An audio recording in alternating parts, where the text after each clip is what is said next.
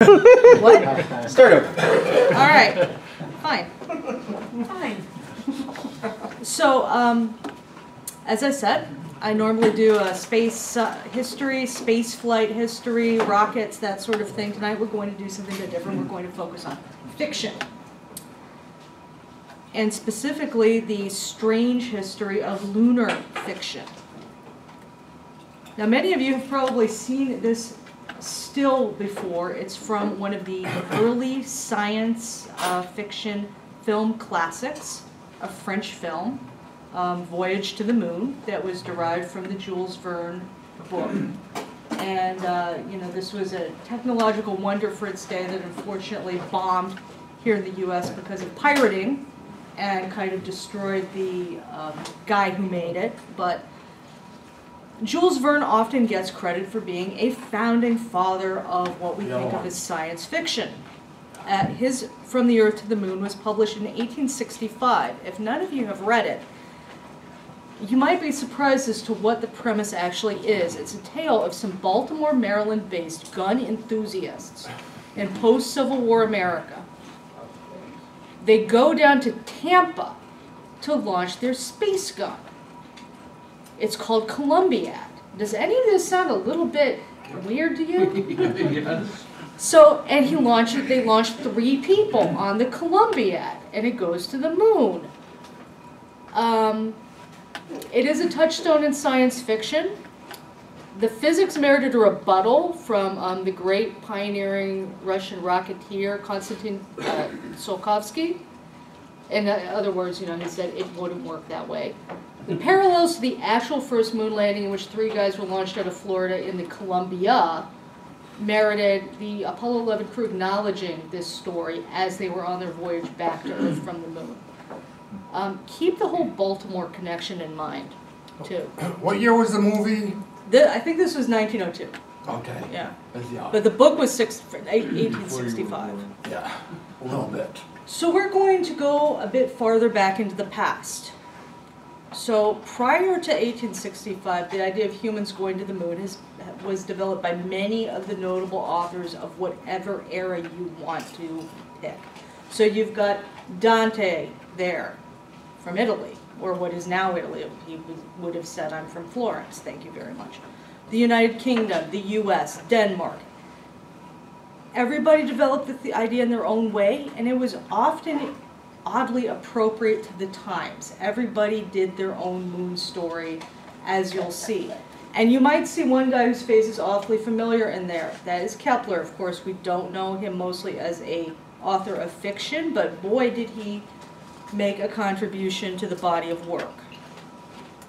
Let's talk a little bit about science fiction and science fantasy because many of these works are going to straddle the border between the two. So science fiction, I'm going to, I've got a couple of rules thrown out by great authors, um, but I'm going to consider it to be grounded in the author's response to the scientific and technological discoveries of their age and the concerns of their era. So we can put up with a miracle or two, what you might call the one piece of bolognium rule. But if the whole thing is miracles, we're not talking about it tonight. So they've, they've got to have some kind of, unless it's actually a fairy tale, there are going to be some fairy stories. So I found this quote. It's from the guy who was the editor for the Amazing Stories literary magazine back in the 1920s, and I see he's got the three pillars of great man science fiction: Verne, Wells, Poe. Okay, fine. Charming romance intermingled with scientific fact and prophetic vision. That's actually a pretty good definition, but as you'll see, the roots of that go a lot far back in the past compared to, say, Edgar Allan Poe. So let's start off in the year 1300. One of the cornerstones of Renaissance literature, the great epic poem known to us as the Divine Comedy. The most famous of its three installments chronicles poet-narrator Dante Alighieri's journey through hell. Less known to us these days, or at least less read, is his ascent through the spheres of the classical heaven. So you see Dante ascending there with his guide Beatrice, and you see this interesting piece of artwork of people in spheres. That is an artistic representation of his journey to the moon. The moon is the innermost sphere of heaven, as Dante tells it, so it is the first stop on his pilgrimage when he and Beatrice ascend from the terrestrial paradise. Here, Dante meets souls who are blessed, but they are consigned to a lower sphere of eternity because they are, in a sense, flawed. They, in the case of these three ladies that Dante is meeting, they are nuns who were forcibly taken from their convent and compelled to marry guys for political reasons, and they get kind of punished in the afterlife for this by not going to the good heaven. This might be why this is not such popular reading these days. Certainly less amusing than his account of hell, but, so the theology is very much of its time. But the poetry is beautiful. So Dante's vision of the moon is the eternal pearl that receives Dante and Beatrice as water receives a ray of light, remaining yet unbroken. I uh, kind of wish you all could experience it in the Italian, as I did when I was in college, because it is amazing, and most prose translations, or English translations in general, don't do it justice. So this is pure, gorgeous poetry. But this was his science. It is the uh, Ptolemaic spheres, the whole Aristotelian geocentric universe, and you've got Moon, Mercury, the Sun. The Sun is kind of the demarcation between the souls who are good but not quite so good and, and the really good people. And so um, Paradiso maps out the universe in great detail. It contains some stunning passages of what my professor called the numinous.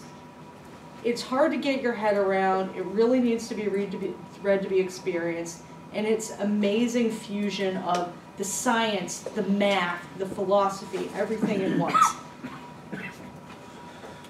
And the lunar chapter actually does a good job of illustrating the sort of headspace that you have to get into to begin to appreciate Paradiso. Dante goes into a hundred verses that explain what the shadows on the moon are about. And so he provides a rational, pseudoscientific answer, being a man of reason in this new era. He says, well, some parts of the moon are some are dense, some parts of the moon are, are rarefied, and so you've got different sort of translucencies, and you see dark spots. And his guide Beatrice says, okay, very nice, but you're wrong. And she rebuts his reasoning with her own reasoning, demonstrating why he's wrong, and guides him to the proper metaphysical answer as to why there are spots in the moon. The universe is God's creation, and you cannot understand Dante's moon or his Mercury or the sun or any of it without getting into the theology. So, difficult work, very rewarding, and it's the cornerstone, as I see it, for all these other things that come after, building one at a time. So skip ahead into the High Renaissance, and another guy is turning his pen to epic poetry. Ludovico Ariosto. Well, he was inspired by Dante, as many were, uh, and he wrote a amazing poem that's very difficult to find in a decent English translation. It's called Orlando Furioso, or Roland the Mad. Set at the time of Charlemagne. Charlemagne's got this great knight. The knight falls in love with a girl from India. He goes mad with love, and we have this great crisis as his knights have to figure out how to restore this guy's sanity. It's inspired writers from uh, Cervantes. It was, it was a formative influence of Don Quixote to Sir Walter Scott in the 20th century, Italo Calvino, Salman Rushdie. Very influential for other writers, not so popular here in this country, but globally. And it also inspired a good deal of art. This is a piece actually um, by Mantegna that inspired Ariosto. So you've got Renaissance art and Renaissance lit going in this wonderful feedback loop. And as I said, he, he plagiarizes Dante a bit, and we'll get into that. So why, why do we care about Ariosto? Well, ever heard about uh, the moon being made of cheese, right? Mm -hmm.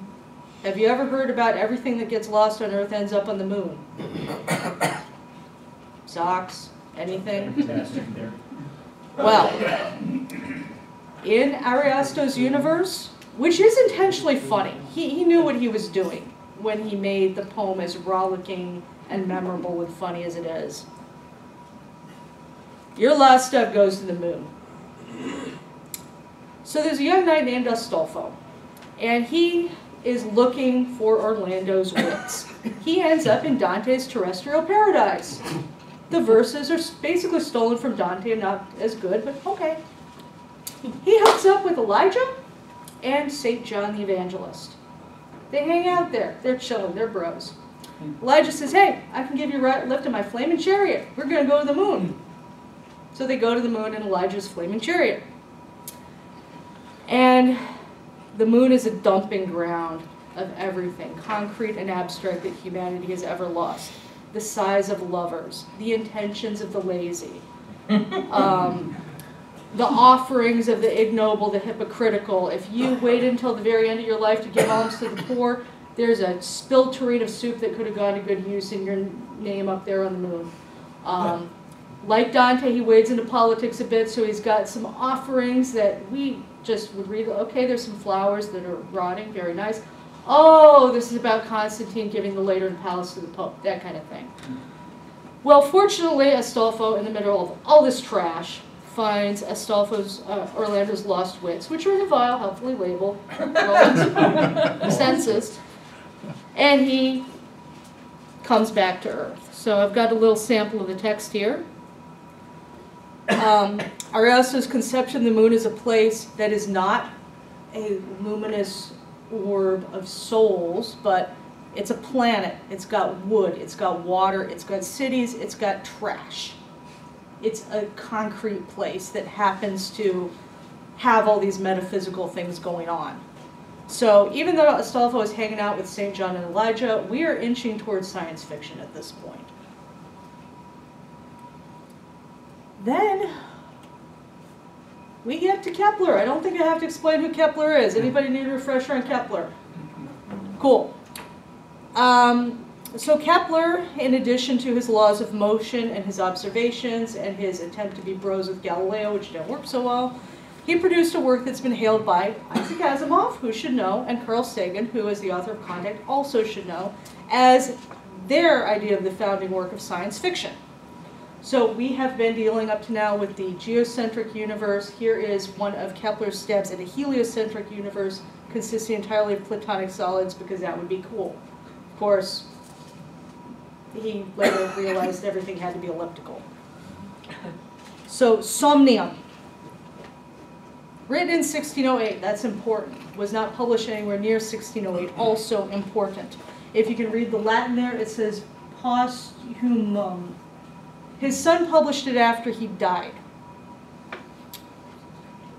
So, concerns a young man from Iceland. His father was a fisherman who lived to be the age of 150, okay.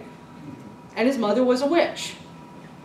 Okay. That's why he lived that long. At age 14, our young hero stows away on a ship to Denmark containing mail that's destined for Tycho Brahe.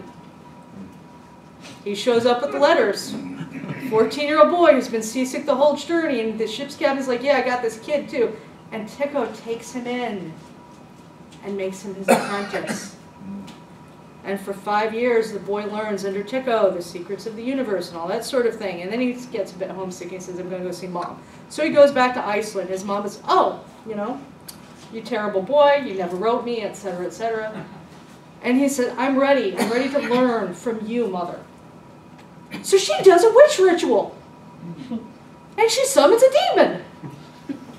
This is 1608. Giordano Bruno got executed eight years before. There's a reason this did not get out in his lifetime. Also, his mother actually had brushes with the law about witchcraft, so I think Kepler knew what he was talking about.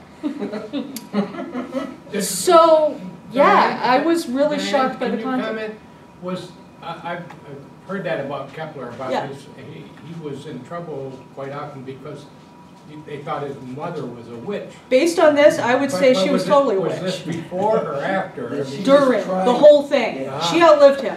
She, she outlived me. So- She was tried. Yeah, Your so, grandmother was executed for being a witch. yes. Yeah, right. Well, okay, But- sorry, sorry for your. But like, based on what is in this text, I think he knew what he was talking about. So, the demon is not a demon like in Dante's Inferno. It can be construed as an extraterrestrial. It could even be construed in a metaphorical sense as the engine that conveys the Earthlings up to the moon. So, um, the moon takes uh, takes four hours to get there. Uh, the Kepler's worked out this whole thing about how they have to do the departure time. They have to time it during the lunar eclipse. If the moon becomes full while they're gone, they're never coming home. He's worked this whole thing out very beautifully. And then he treats us to some lunar um, map, say. He's got his own glossary of terms. So the people of the moon call the moon Levania. They consider it the island in the sky. Uh, it's 50,000 German miles up in the air, so you might want to keep that in mind.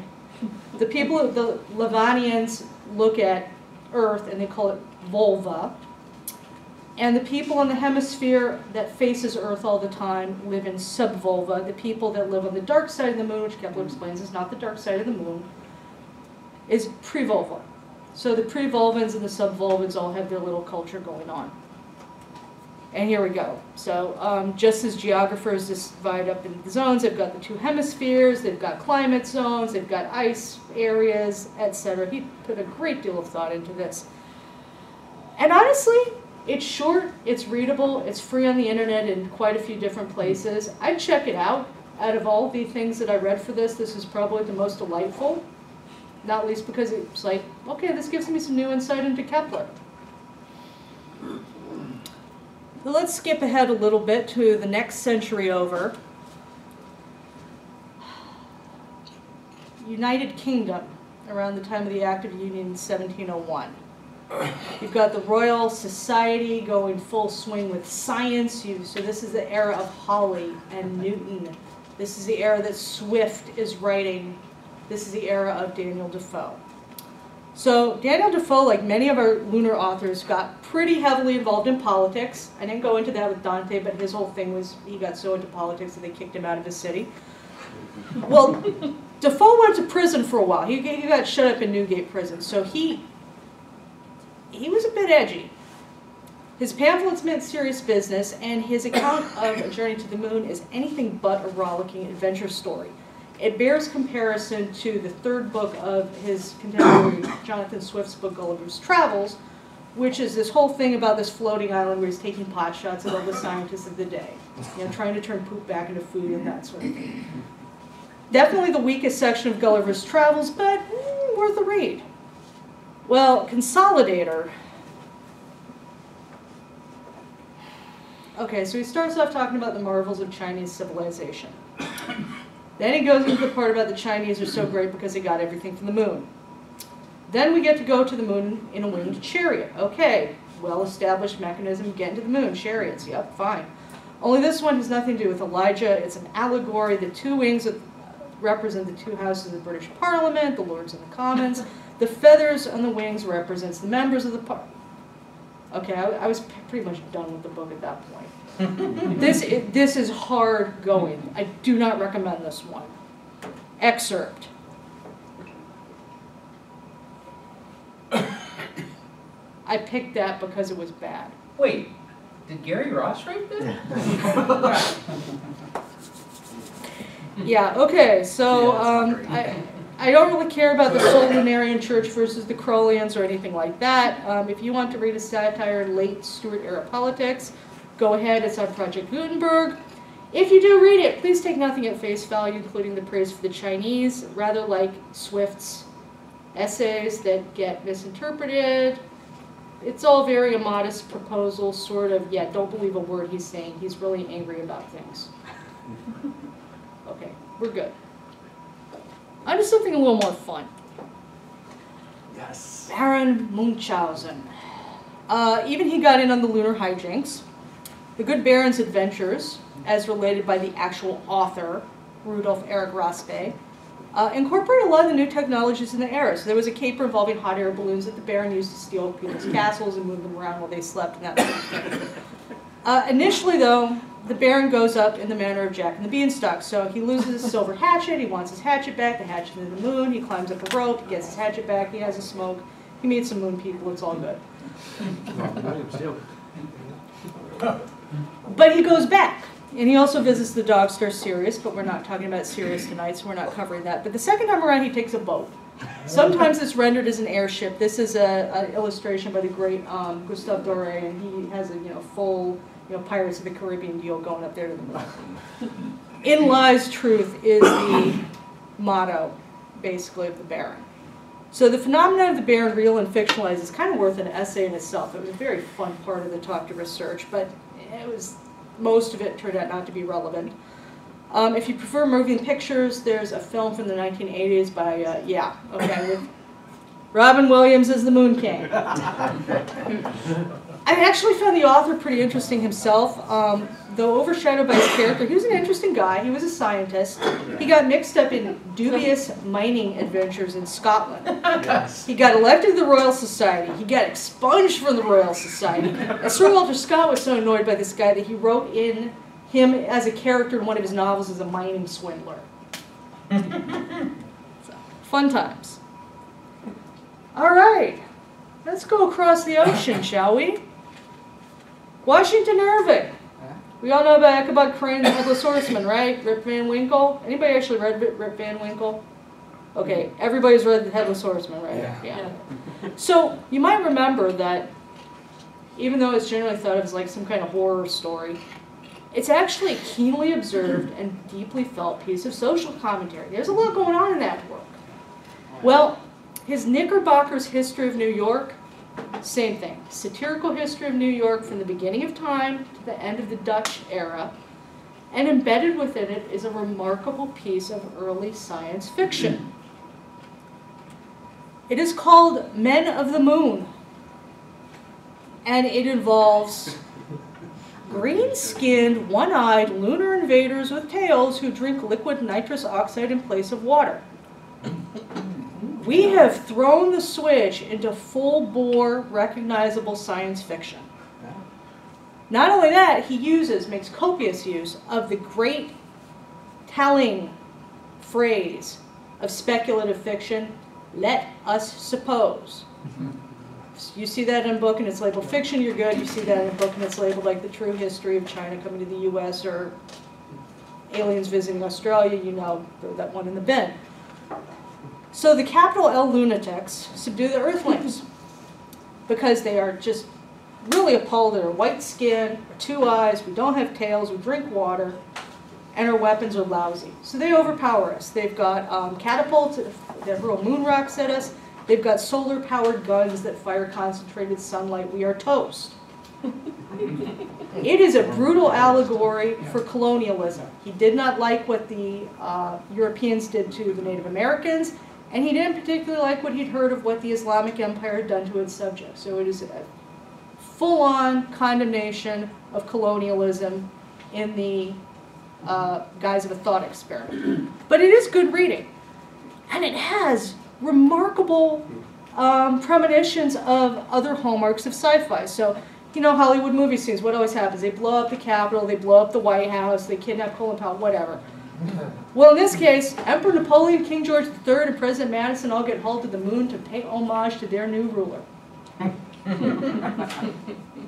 So in between the scientific trappings like the nitrous oxide and the social commentary, it's sci-fi. I, I see no reason to consider this anything but a founding work of sci-fi. And uh, the prose is a bit more readable than, uh, say, Defoe's era. So let us suppose that the moon people found this wild, savage place with nothing but beasts and stupid things. Well, they took it for the glory of the man in the moon our philosopher, our new philosopher, king. And there is no happy ending. It, it's a lot like War of the Worlds, but there's no happy, convenient ending where the moon people die of a cold. You spoiled it. Now, we all know this guy, right? Edgar Allan Poe. He, he often gets credit for inventing science fiction. I think I've demonstrated the credit is misapplied.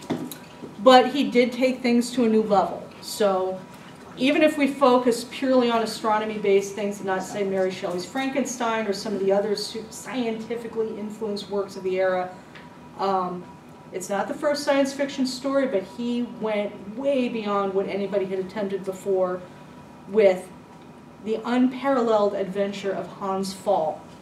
It's a multi-level work that functions both as the literary hoax that it was and as a science fiction tale. So, in brief, hot air balloon appears above Rotterdam in the Netherlands. Note drops down, the balloon goes back into the clouds. The balloon is manned by this strange little two foot tall, uh, kind of goblin esque creature. The note proves to be the account of a journey of a man named Hans Pfaall, who had flown to the moon in a hot air balloon, cutting edge technology at the time, in order to escape his creditors. and then he spent five years up there on the moon. And he sent the little lunar emissary down with a note to say, uh, guys, I'll, I'll tell you all my story if you forgive my debts and give me a pardon. But unfortunately for him, when the little moon guy looked down at Rotterdam all crowded with humans, who of course were huge by his, he panicked, he said, nah, and he just threw the note over and went back to the moon. So, um, Poe makes his account plausible. He fills it out with uh, scientific and topical references. Like this one excerpt he, excerpt he refused to. Professor Encke of the Encke Minima. He was up on the science. Um, another geologic sensation of the time, the volcano Cotopaxi. So he, he flavors it with all of these contemporary, interesting, sciency things and a blizzard of technical detail on how this balloon works. Um, it's a bit dull going for Poe. Nobody's murdered, nobody goes mad. Um, the balloon is very technical and kind of dry. Maybe some of you, like engineering types, would like it, but I, I was bored. Are there any beetles? I don't remember. Um, though his account of the Earth growing convex to his view as he ascends slowly and then the Earth receding is pretty interesting because it does foreshadow what humans would not actually see for another hundred and you know twenty years. So here's a piece. Um, he's talking about the how there is an atmosphere that extends to the moon so that all the critters can live and breathe and everything like that. Um, he leaves many tells that the tale is a hoax. So there's a whole lot of wordplay about levity and lightning and if you want to do your thesis on that, it's all there. I was like, okay, fine. There's some really obvious things too. There's characters named Professor Rubadub. and since it's set in the Netherlands, Mynheer Superbus von Underduk. it's not subtle. So it's not subtle enough that contemporary readers understood that this was not something that actually happened. This was a story to enjoy. It was a hoax, but nobody was really ta taken in by it. However, Poe being Poe with the terrible luck that he had, one good hoax deserves another. He published a short story in the Southern Literary Messenger. And the New York Sun responded with a six-part lunar hoax of his own, not just name-dropping Encke, but name-dropping the mighty John Herschel. And Herschel was said to have discovered fantastic life forms in the moon using a 24-inch telescope.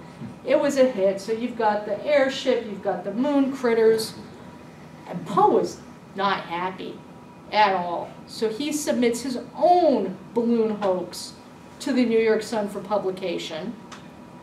And people believed it. He did a, a much better job. And- But unfortunately, that backfired on him because then he became known as a hoax guy.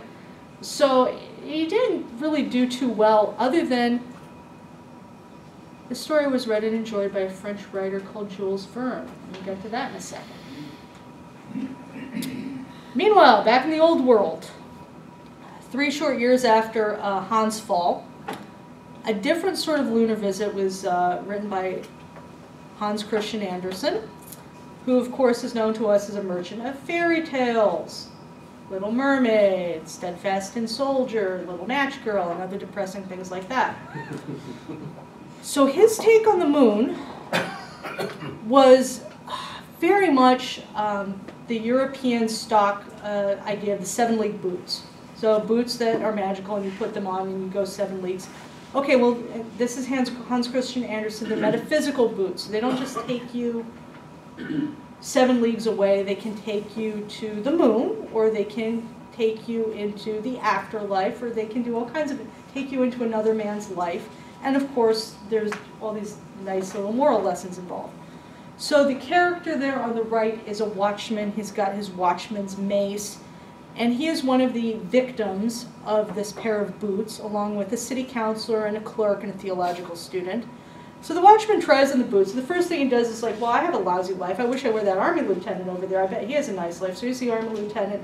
And then he reads a poem that the army lieutenant wrote, and the army lieutenant's like, my life is terrible, blah, blah, blah. So he's like, okay, I don't want to be this guy. Maybe I should be on the moon. So he's whisked off to the moon at the speed of light, which does exist. So I'm told. So this is one of those signs that we're, we are in an era where you know the speed of light has been calculated by Ole Romer. It's not a science fiction piece, but he is using the language, the facts known of science at the time, in order to get across. For instance, he cites that the moon is not 40 German or 40 German miles away or what, 400 German miles away, 250,000, 240,000 miles. He, he knows these things by now. The science is deeply progressed from Kepler's era, even if it's seven league boots with a metaphysical twist. Um, his take on the moon is kind of weird too. It's uh, dazzling white, everything is soft as snow or soft as egg white in this case. Um, the inhabitants notice the watchmen, they discuss amongst themselves how unlikely it is that there's any intelligent life on the earth.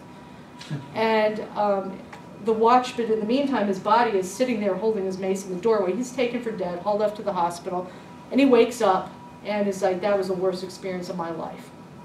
Uh, fortunately, the misadventure with the boots doesn't actually leave him dead dead like it does with the theological clerk, but...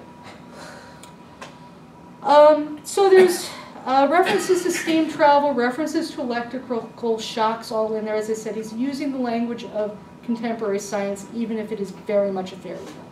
Yes? And what's really interesting about this is that that last phrase there, like a huge dull red ball, tells you that people had no idea what the Earth looked like at all from Yes, that's one reason I chose that. Yeah. No, they said it was a ball. Well, that's true. Okay, Yeah. no idea what color it was. Right, no idea that it would be a blue ball or anything of that- that sort. So, uh, so we've come a long way, and you know, 30 minutes from Dante's spiritual moon through early actual science fiction to an era in which people are comfortable enough with the science of the universe that they're using it in casually in entertainment or children's stories with a moral. That means that the tropes of science fiction have been established. You're seeing in the 19th century balloons, lots of balloons. You're seeing certain tropes, if you will, which means that we have covered all these great men of literature. We can now go into some trash.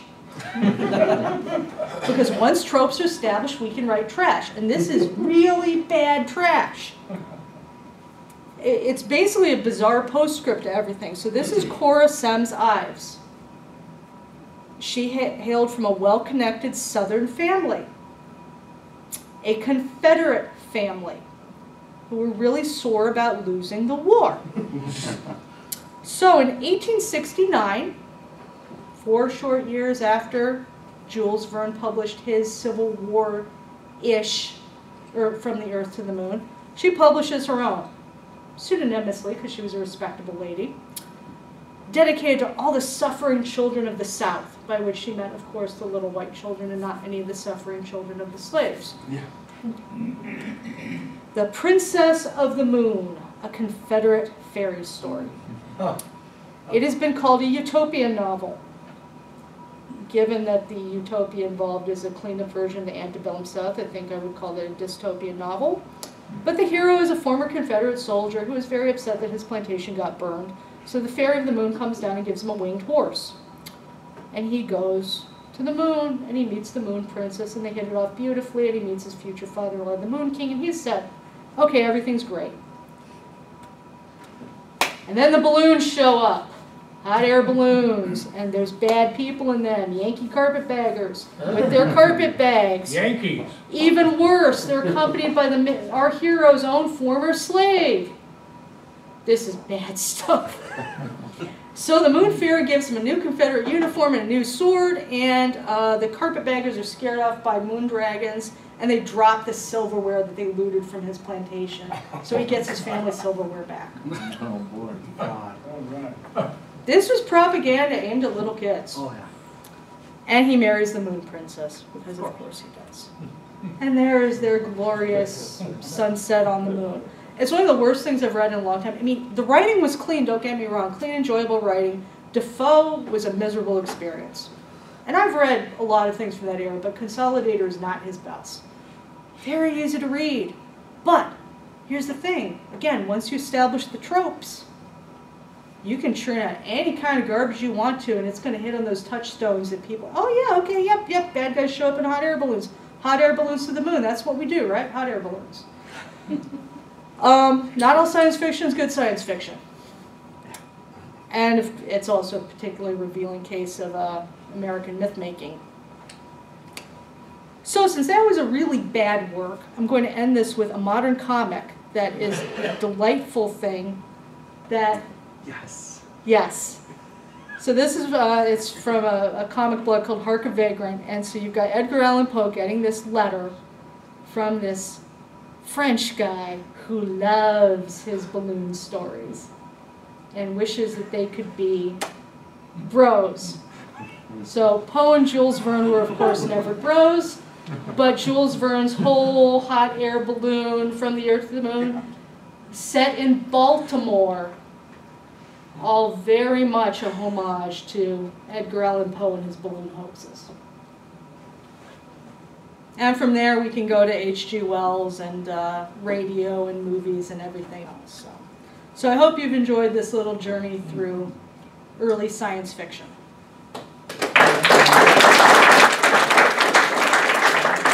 Okay, Jim Kirstendale. This last, the last one of the Confederate Yeah. lady writing reminds me of the very first science fiction book I ever read. And I'm old enough to before you guys' time, so not quite back as far, but it was by Robert Heinlein, Okay, yeah. probably nineteen fifty. It was about uh, the Nazis that escaped the earth and went to the moon. That was current stuff at the time, because the Police Gazette was thinking that Hitler had escaped uh, in a submarine and went to South America. Right, right. But it was about a bunch of kids with their physics teacher who constructed a rocket to go to the moon, and when they got there, it was called Destination Moon. Okay, yeah, Maybe yeah. Some of you read it. Yeah. When they got to the moon, they found it was full of Nazis. And, and then the story was, a- was a story of, of them defeating the Nazis and somehow or another. Which, All the again, does go to the moon. Very, rep- very think some- representative of the made a movie of concerns and technology of the time. Right, time. and at the time, you know, the V two Yeah, rockets bingo. were big technology We've gone from hot air stuff, balloons and to the V2 Nazis rockets. were- had invented them and so on and so forth. Dale, I think you've sort of made the case that there was never a lack of imagination in these writers, but they had to wait for science to develop to write what became more and more recognizably science fiction. very much. I mean, I would consider, I mean, Dante was using all of the scientific tools available to him in his era. And- It was and just wrong. Trying to look a little beyond science, Mm-hmm. right? But nevertheless, their imagination was limited by science. Totally. Yes, Jerry. Well, um, the thing that impressed me was that, um, the story of the, um, fiery chariot with Elijah in it. Oh, in the biblical account, he never rode in a chariot. Uh, he was taken up in a whirlwind, and the chariot was used to separate the two, um, um, prophets. So, um, you enlighten me where this idea of him riding a chariot comes from. It's from this imaginary fiction. Right, well, I think, it- I don't think it's the only source that used that, but it was certainly one of the most popular and influential depictions of, oh yeah, how, how did he go up? Oh, a flaming chariot. I mean, this is also an era in which, um, Saint John the Evangelist and John the Revelator and all that are kind of compressed into one character, so it's not exactly in keeping with modern scholarship. Okay. Uh, Brian, and then uh, Ken, and then Jim again. Ha- Have you read Mary Shelley's Frankenstein? Oh, yes. Well, uh, Very early, like what, what, eighteen oh nine, something like that? Um, a little bit later than that, I think, but not much later. Okay, anyway, um, there's nothing in it about how, uh, the experiments were, were, uh, powered, you know? Uh, in, in the movies, it's, you know, sunlight or, or, uh, Mhm. electric, you know, uh, uh, you know, uh, it's generated by, uh, lightning or chemical, uh, energy of some kind. But, you know, in the book, there's nothing about that. There's, I mean, just stuff about how they procured the bodies and body parts and everything like that, but nothing about how, how it was all animated. Yeah, well, in, in, in, in films. just like um, most of the Frankenstein is a really good case, but A Christmas Carol, which of course is not science fiction, is another one. The most popular and enduring images that we have of these canon often have very little to do with what actually went on in the book. Yeah, just like, Yeah. you know, Dracula But- and the whole, uh, you know, there's movies that, that perpetuate Even everything. even without a, a means of animating the monster, though, I would still say that that book does have a good claim to be an early piece of science fiction, given Yeah. the whole framing of it. Yeah, Of course, she was also grappling with big philosophical issues, like what do you do when you create a human being out of spare Yeah. parts, yeah. and it doesn't like you very much. yes, Ken. All right, um, you know, I did a, a report on, Johann Kepler, and, um, one of the things that I, uh, discovered about a lot of things, he wasn't afraid to say anything to anybody. And I believe that that transcript, which was published after he died in sixteen thirty, was probably a lost con, uh, uh, uh, he was not the type of guy that held back. And he wasn't under the same influence that Bruno was.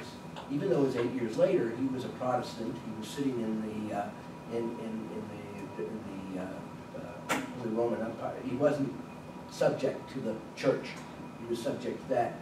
And the problems with his mom were really instituted by a neighbor, and because of his popularity, he was given free ride, and that's why she didn't die the, uh, on the, on the stake.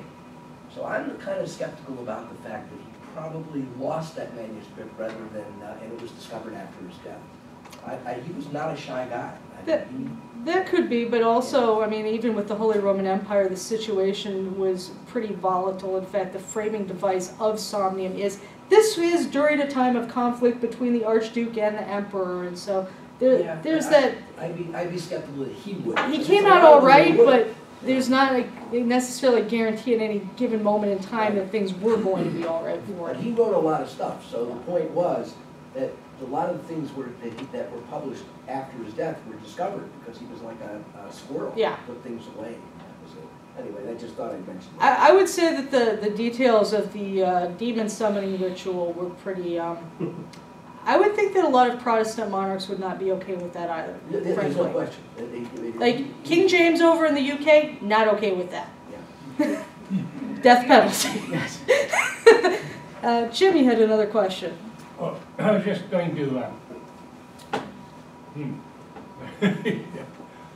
Oh, it was, a good point, too. Uh, That's what happens. Oh, would you, would you agree that uh, Jules Verne was probably, uh, um, amongst all the folks of that ilk in that era, including in particular the, the, the rebel lady, was, had paid most attention to the Newton's laws and the laws of physics. These, as I recall in his book, they were figuring out how much energy would be needed, how much gunpowder would be needed to get the trajectory, to get, get us to the moon, and padding for, for, they didn't know the numbers, of course, but padding against the acceleration when the, when the rocket ship was fired and so Oh, on. certainly. I mean, as I said, it was it was con- he put enough work into his trajectory for it to be worth a rebuttal from Russia's foremost rocket scientists that say no, w- wouldn't work that way. But Tsiolkovsky lived forty years later. Right. Yeah, but the, the other comment was, uh, uh, I, in your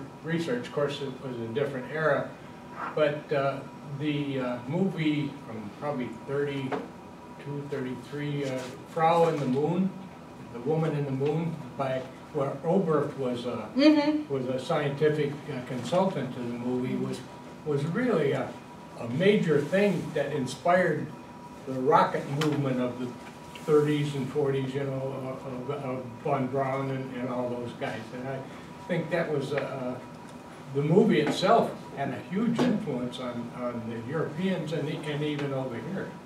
Oh yeah, no, once you start getting to motion pictures, the feedback between what the movie showed was possible and what science caught up to is amazing.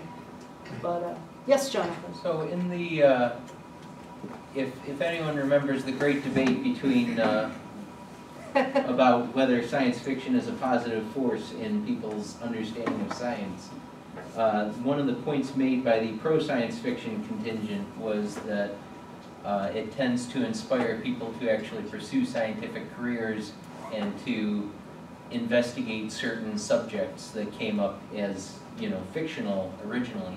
Did you see any influence from these works on scientists of the era? Yeah. Um, not that I could cite. I mean, certainly something like Ariosto had a huge cultural influence that is very difficult to measure, particularly since it never really caught on here in America. Um, and something like, I mean, I found Washington Irving's piece absolutely delightful, but it did not come down to us as one of his most well-known. Actually, most of these are not the best work by any of the people involved. This is not Defoe at his best. It is not Poe at his best. Um, I would say it might not even be Anderson at his best. And uh, I found Irving's work delightful, but I don't know how many people read it or, or cared about that chapter of a very long satirical work that goes from being marvelously funny to dude has an axe to grind. um, so it, it's really hard to say. I, I, I was more, more impressed by the way that it showed the dissemination of scientific concepts into the world at large to the point where Anderson, who again is not writing science fiction, is nonetheless deploying all these things because it is now expected. You will address steam engines. You will address electricity. You will address that electric shock can kill you. Uh, somebody writing a, a fairy tale 60, 80 years prior to that would not have needed to do any of that.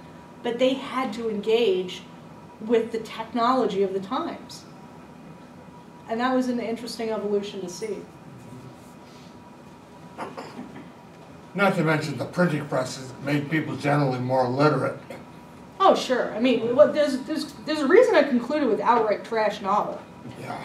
We remember the good stuff. What everybody was actually reading was garbage. Yeah. For like today. You know, the most popular authors of the, and many of, much of what we consider to be the disposable garbage was actually written by women. You know, the most popular best-selling authors of the 19th century were not, you know, not necessarily the big names that we learn in, not Melville. He was not making money. There were women churning out trash novels that were making money. Yeah. How do you think history will remember Star Wars? Can we get past the current whole thing with Yeah, the? if only yeah, Jerry was let, here. Let, let, let's flash forward 15 years and see. I don't want to touch Star Wars right now. Of course, any, and Gary, anything written after 1965 is, is, isn't, isn't worth a damn anyway, you know. I'm sorry he wasn't here to see this. Any other questions? Yes, Jeff? Uh, well, it's interesting to see the transition of like what the common accepted vehicle of getting to the moon would be from a chariot to a ship to a balloon to a bullet.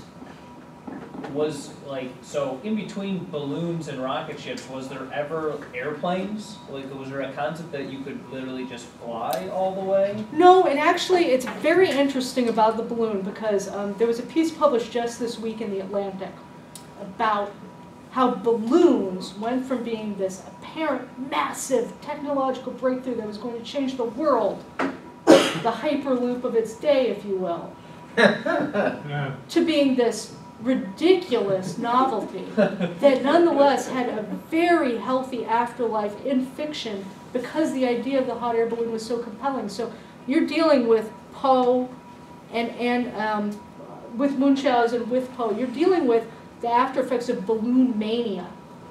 And then by the time you're getting to Cora Semmes Ives, she's just, that's what you do. You go to the moon in a balloon or a winged horse, whatever. And so I didn't find a, a, a phase that that um, was a precursor to the airplane, but the the evolution of artillery that was taking place in the middle of the um, 19th century with the introduction of cheap steel that could be used to make steel guns, with the introduction of better ballistics, with the Crimean War and the American Civil War, that ties completely into what Verne is doing with his rocket, just as the age of balloon mania ties into what Poe is doing with his balloons. Rocket's pre, uh, cursor to planes anyway, so, you know, the, the Chinese. Well, yeah, but it, but my point is, it is, these things are very relevant to the era in which they sprang. Sure. The fact that it is a 1865 post-American Civil War team of rocketeers firing a rocket to the moon, that matters. That would not have happened 30 years prior. The balloon thing would not have happened in the 16th or 30s or the 1730s because it didn't exist. You probably would have had a guy flying on a, you know, fake wings or something like that. Yes? To that question, why do so many of your presentations involve hot air balloons? I like balloons. Yeah, balloons can just keep going higher and higher, whereas airplanes could only go so high.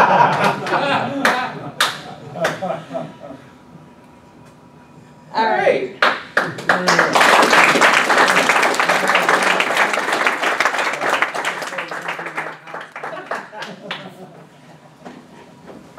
There are these Apollo glasses, if someone oh, wants Oh, one. yeah. Is this your, is this your adapter, Jonathan? Yes, that's the phone. So yeah, please take a glass on your way out. Uh, and then, uh, some of us meet at the Coney Island on Van Dyke. Van Dyke. North of 12 miles. Uh, never been, so. It's good. Uh, Coney Island. Coney Island. They've got dessert and beer. dessert and beer. There we go. Good class. They do. It's Coney Island. Just, that- just that one, I think. Jonathan, if you could get this off them. So, have, have a good night, everyone.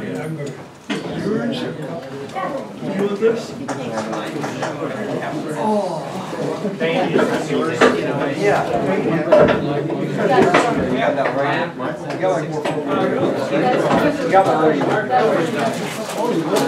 That's we were going to Garden with Ken about my publication.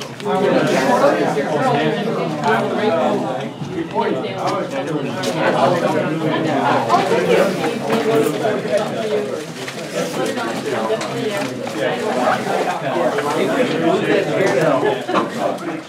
don't know what I was expecting, but it was not that. No? No. Yeah, it, uh, it's usually always different than what people expect. Uh,